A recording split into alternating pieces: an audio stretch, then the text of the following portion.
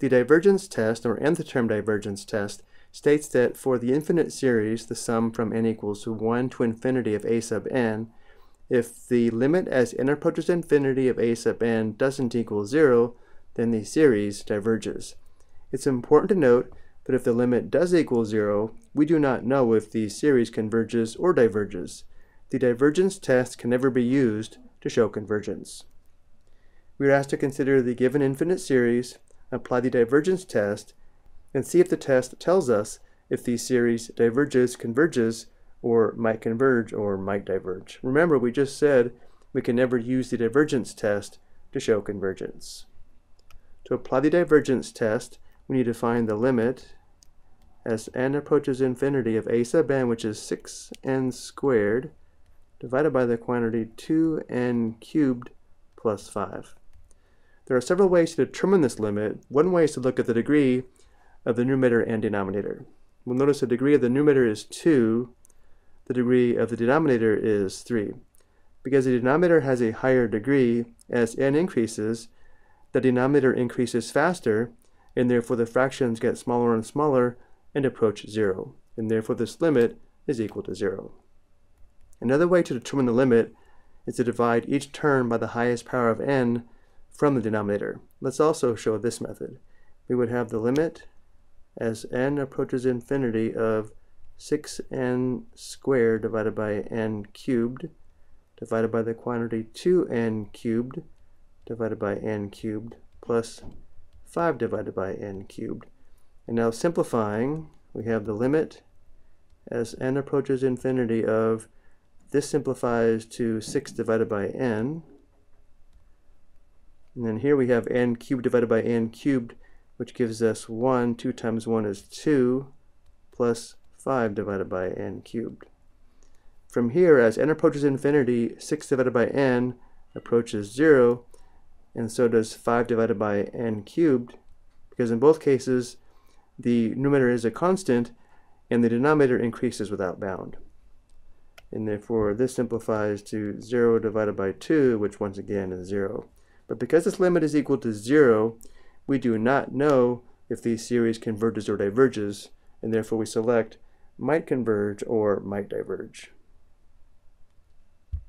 Another way to verify this limit would be to graph the terms of the series given by a sub n. Let's also look at this.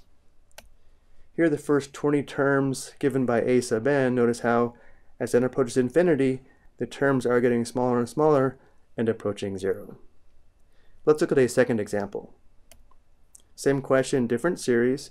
To apply the divergence test, we need to find the limit as n approaches infinity of 4n to the fifth divided by the quantity 3n cubed plus 5. Looking at the degree of the numerator and denominator, notice how here the degree of the numerator is 5 and the degree of the denominator is 3. In this case, as n approaches infinity, because the numerator has a higher degree, the numerator increases faster than the denominator, and therefore the fractions get larger and larger and approach infinity. This limit approaches infinity, which does not exist. Another way to determine this limit would be to divide each term by the highest power of n from the denominator, which is n cubed. And again, let's also show this. We have 4n to the fifth divided by n cubed divided by the quantity 3n cubed divided by n cubed plus 5 divided by n cubed. Now simplifying, here we have 4n squared divided by, here n cubed divided by n cubed is 1, 3 times 1 is 3, and we have plus 5 divided by n cubed. As n approaches infinity, 4n squared gets larger and larger and approaches infinity.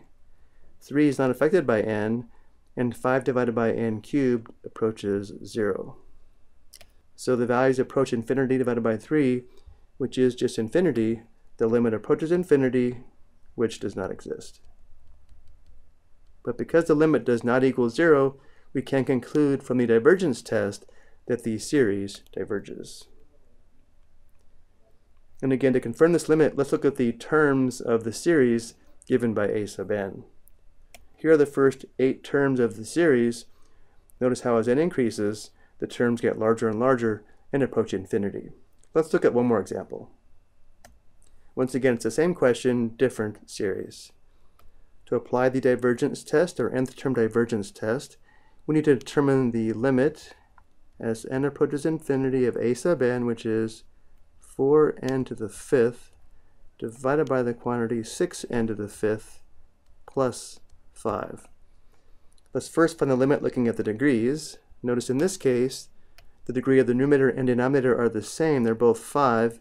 When this is the case, the limit is equal to the ratio of the leading coefficients, which in this case would be 4 divided by 6, or 4 sixths, which is equal to 2 thirds.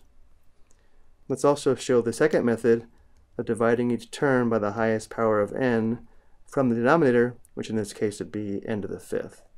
We would have 4 n to the fifth divided by n to the fifth divided by the quantity 6 n to the fifth divided by n to the fifth plus 5 divided by n to the fifth. Well, n to the fifth divided by n to the fifth is 1 here as well as here, and therefore the numerator simplifies to just 4.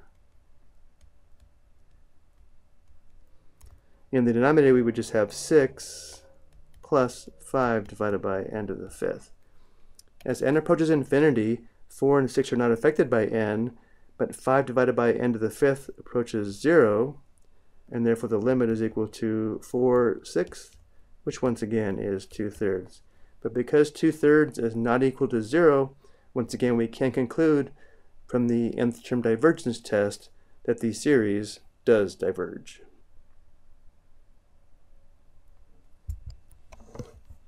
Before we go, let's look at the graph of the terms given by a sub n to verify the limit of 2 thirds.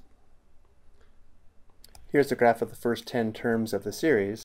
Notice how very quickly as n increases, the terms do approach a value that does appear to be 2 thirds.